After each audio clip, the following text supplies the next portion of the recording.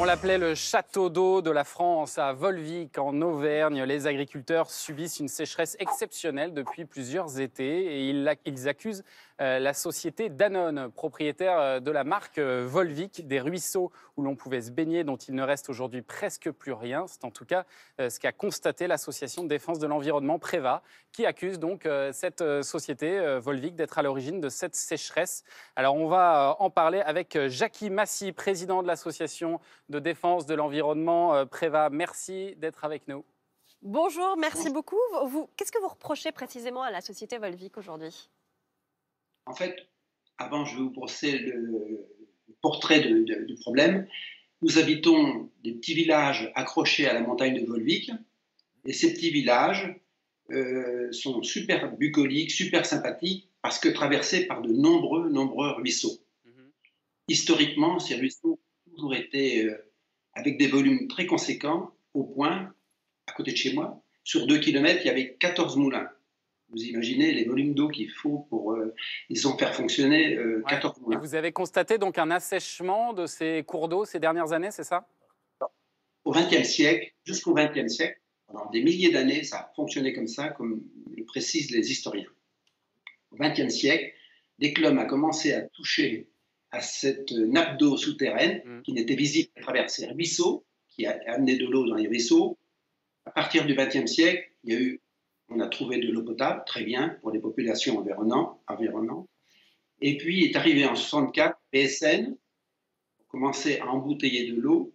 Par la suite. Mais, euh, Monsieur Massy, pardon, on vous, entend, mais qu'est-ce qui vous permet de prouver que cet assèchement, il est dû au prélèvement de l'eau et pas simplement aux effets euh, du réchauffement climatique, par exemple? Alors, cette euh, masse d'eau n'a jamais varié, quelles que soient les conditions climatique. Les historiens sont formels. Hmm. C'était même une exception en Europe.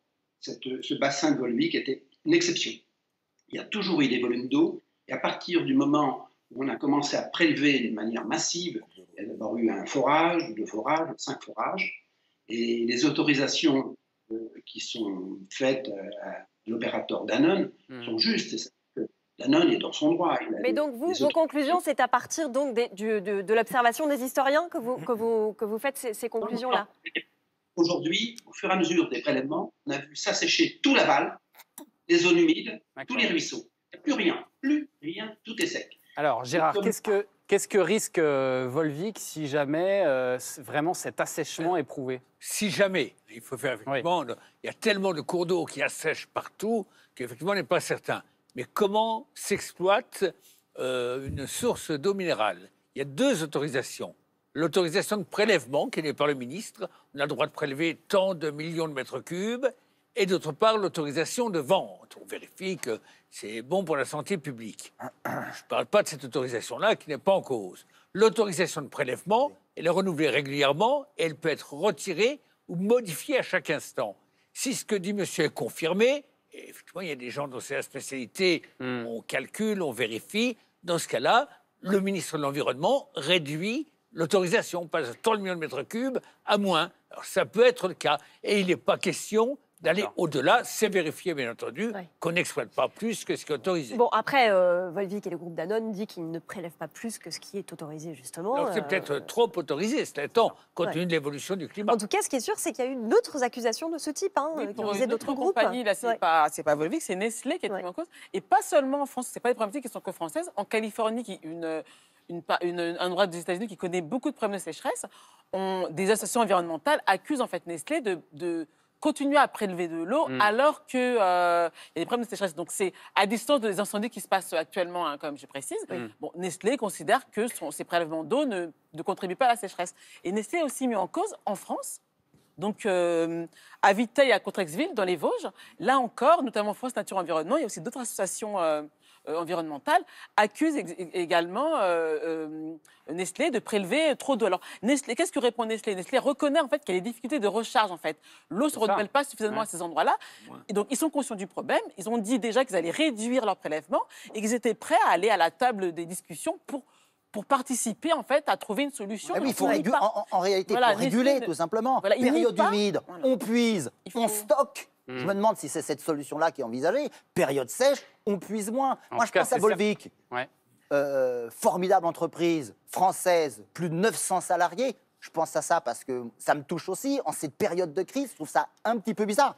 Je ne remets pas en cause le fait qu'ils puissent trop en ce moment, qu'ils prélèvent trop d'eau. Peut-être qu'il faut peut un régulateur. C'est momentané. Il faut faire un petit peu gaffe aussi. Si, ça, si ça part de partout comme ça, il y a 900 emplois, c'est une belle entreprise. Monsieur Massy, vous avez sollicité euh, l'État pour essayer de trouver une solution?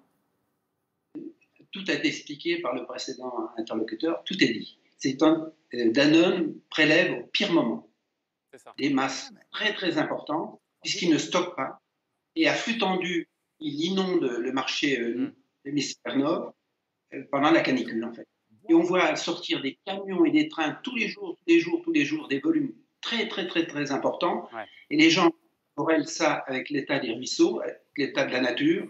Et comme il n'y a jamais eu d'enquête, à chaque forage, il n'y a jamais eu d'enquête sur l'environnemental, on ne s'est jamais préoccupé sur les questions naturelles. Bon, en tout cas, on, entend vos positions et les positions de, tout le monde. Maintenant, il reste peut-être à se mettre autour de la table bah et, et, puis discuter. On peut demander si à terme cette mode incroyable des eaux minérales. Moi, quand j'étais jeune, on buvait de l'eau du robinet. C'était mm. exceptionnel, l'eau minérale. C'est quasiment euh, pour se soigner. on en parlera bientôt. On va, faire un dossier eh ben, très prochainement là-dessus sur l'eau du robinet. Merci beaucoup pour la transition. on va faire un dossier. C'est merveilleux. Merci pour la transition. Je viendrai. Gérard, rédacteur en chef de cette émission. Merci Jackie Massy d'avoir été euh, avec nous dans la quotidienne. Merci beaucoup.